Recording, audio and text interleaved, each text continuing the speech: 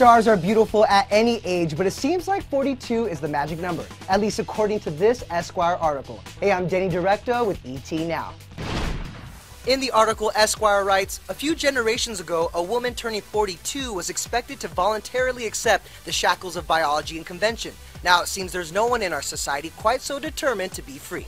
The article is stirring up controversy with some calling it sexist and ageist, but it is an excuse for us to celebrate some of our favorite stars who just so happen to be 42, like Sofia Vergara.